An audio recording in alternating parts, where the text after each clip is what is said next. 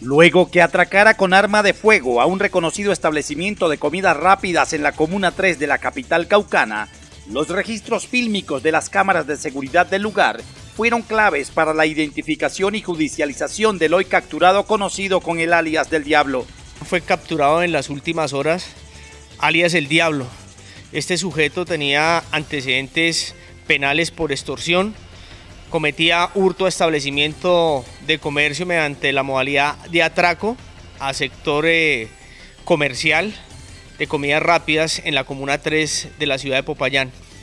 Quedó en evidencia eh, mediante registro de cámaras que estaban en el lugar y de esta manera la policía logra la captura de este delincuente. El atraco quedó registrado en las cámaras de seguridad del establecimiento, donde se evidencia el actuar delincuencial del indiciado, quien en compañía de otro hombre intimidan con arma de fuego a los clientes y administradores del lugar despojándolos de sus pertenencias y la suma de 4.300.000 pesos en efectivo. Este personaje se logra hurtar 4.300.000 pesos en efectivo y un celular, recuperando precisamente la mercancía y logrando la captura de este delincuente.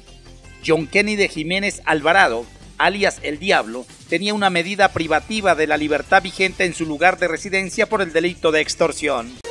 En novedades, noticias y comentarios con objetividad e independencia.